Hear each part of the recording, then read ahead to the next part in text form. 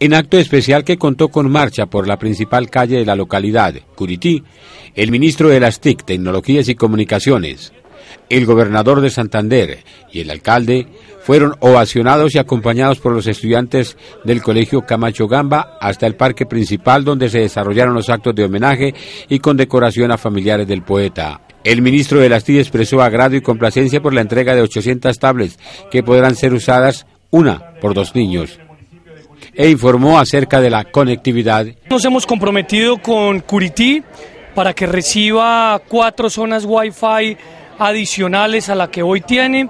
En segundo lugar, he registrado con mucho entusiasmo el gran avance que estaba adelantando el señor gobernador.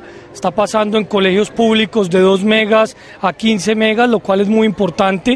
Y nosotros seguimos trabajando en lo que hace referencia a conectividad celular.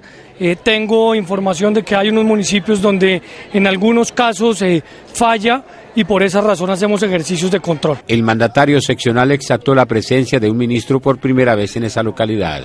Hoy el ministro Luna nos está permitiendo que el mundo entero nos vea a Curití, nos vea a los santanderianos gracias a esta conectividad, gracias al desarrollo de estos contenidos que tienen estas tablets y como él lo anunciaba, pedirle a todos los profesores porque ese también es un hecho que tenemos que reconocerle y agradecerle aquí las buenas relaciones y la amistad con el ministro, que todos, el 100% de los profesores de Santander van a tener una tablet. También la autoridad local expresó agrado por la visita ministerial. En la visita del ministro al reconocimiento que le pudimos ofrecer hoy al maestro Imal Enrique Arciniegas, que gratamente hoy acompañado por su nieto, pudimos difundir eh, y decirle al pueblo curiteño, al pueblo santanderiano y al pueblo colombiano que Curití avanza con pasos agigantados. Por su parte, el secretario departamental de las TIC dijo que esta entrega es la primera y si la agenda lo permite, habrá una segunda entrega de por lo menos 500 tablets más. Esta es la primera entrega, pero este mismo año vamos a estar realizando otras entregas en diferentes puntos acá de la provincia